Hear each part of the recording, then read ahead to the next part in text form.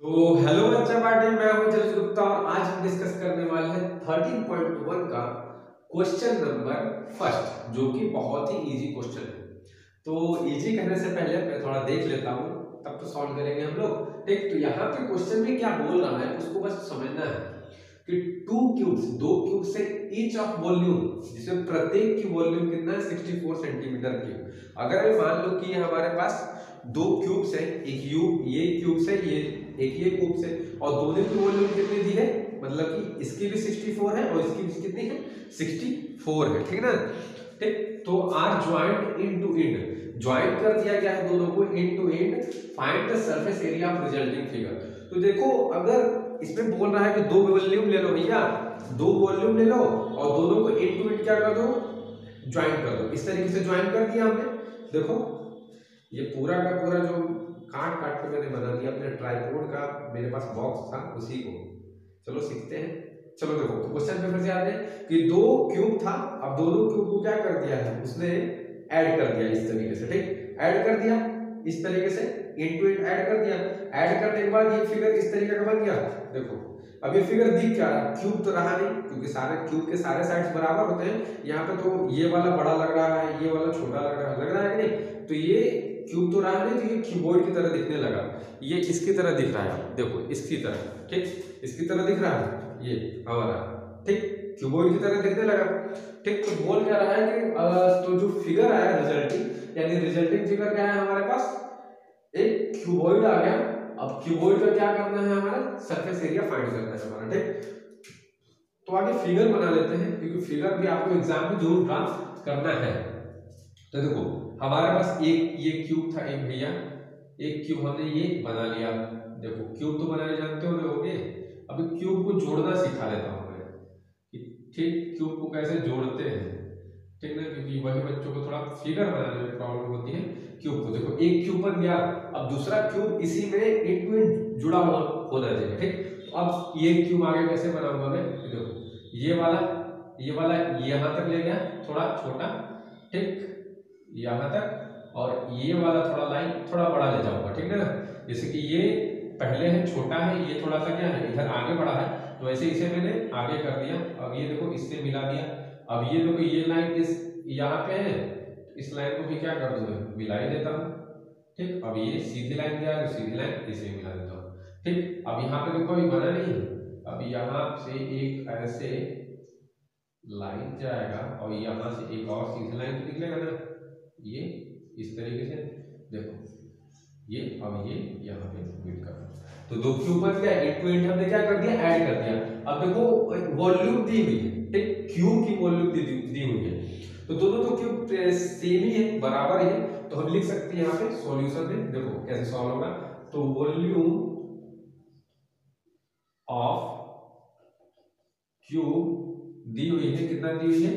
तो 64 दी हुई है 64 सेंटीमीटर क्यूब तो वॉल्यूम ऑफ़ क्यूब कितना होता है, कितना है? तो आप जानते हो कि जो एज होती है, उसकी क्यूब होती है वॉल्यूम ठीक? तो सेंटीमीटर ये इतना हो जाएगा, ठीक? तो यहाँ पे अब ये क्या है? एज दी हुई है। ठीक है तो ये क्या हो जाएगा? अब ये इधर चला जाएगा। तो क्या? क्यूब रूट हो जाएगा। ठीक? तो ये 64 हो जाएगा।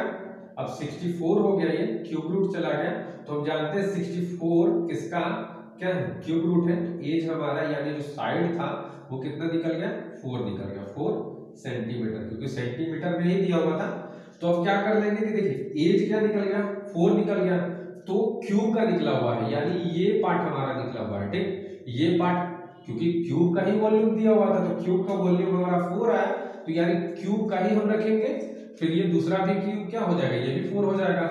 अब सारे के सारे क्यूब का क्या हो जाएगा? फोर क्योंकि दोनों क्यूब के वॉल्यूम बराबर थे, इसीलिए, ठीक ना? तो ये भी फोर हो जाएगा हो जाएगा सारा का सारा।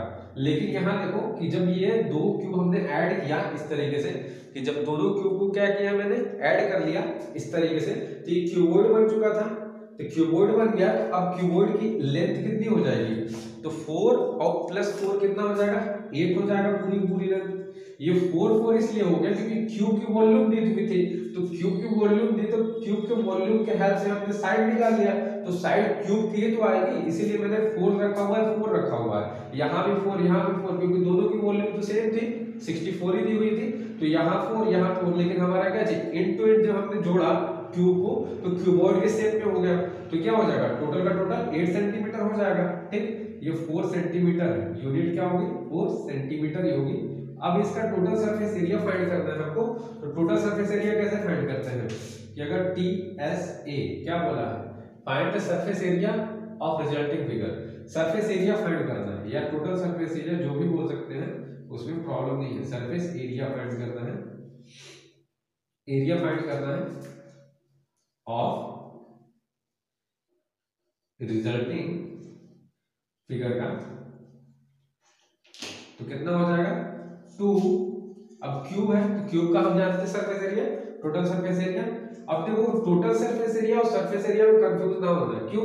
क्योंकि सरफेस एरिया बोल रहा है तो उसने ये नहीं बोला है कर्व सरफेस एरिया तो सरफेस एरिया जब भी बोलेगा रिजल्टिंग फिगर यानी जो हमारा फिगर बन रहा है तो उसका टोटल सरफेस एरिया ही लेंगे ठीक ना?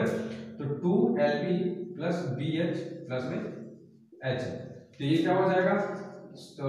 सॉल्व करते हैं थोड़ा सा इसको। टू। अब देखो लेंथ हमारी कितनी हो गई? लेंथ क्या है हमारी? ये एट हो गई।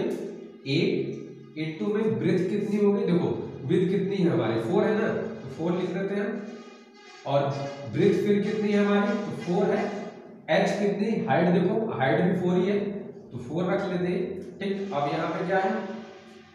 एच कितनी है? हाइट तो फोर है। और लेंथ हमारा ये है। ये कितना हो जाएगा? ये थर्टी टू हो जाएगा एट फोर जा और ये फोर फोर जा सिक्सटीन और फिर ये थर्टी टू अब ऐड कर लेते हैं। तो ऐड करने पर कितना आएगा? फोर सिक्स कितना हो जाएगा? एट एट और टू टेन हो जाएगा। ठीक?